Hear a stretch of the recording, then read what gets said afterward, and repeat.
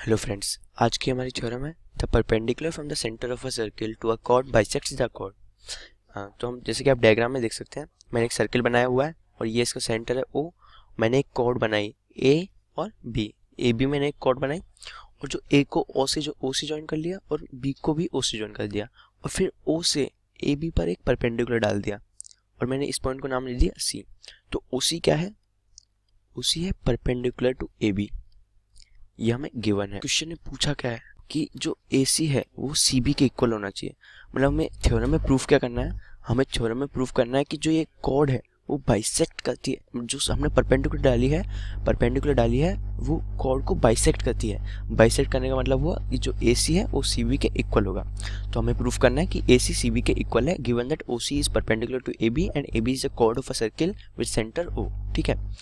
तो अगर हम ये ट्राइंगल प्रूफ कर ये प्रूफ कर दें कि जो ट्राइंगल सी है और जो ट्राइंगल सी है, वो दोनों कॉन्ग्रेंट है तो हम बोल सकेंगे कि उनकी पूरी साइड और पूरे एंगल भी इक्वल है तो ए सी भी ए बी के इक्वल है। ठीक है? ए सी भी ए बी के इक्वल है, ये भी प्रूफ हो जाएगा। तो देखिए, जो पहली साइड है, वो क्या होगी? ओ सी तो ओ सी दोनों ट्राइंगल्स में कॉमन है तो ओ सी इक्वल टू ओ सी हम लिख ही सकते हैं। और जो ओ ए है, वो ओ बी के इक्वल होगी। क्यों?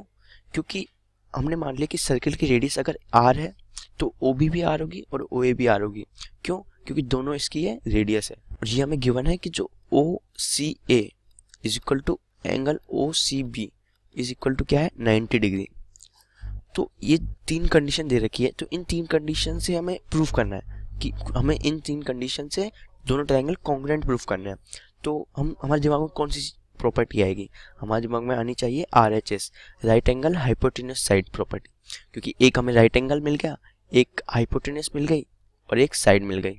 ठीक है? तो फिर आर एच एस से ये प्रूफ हो चुका है कि दोनों ट्राइंगल क्या है?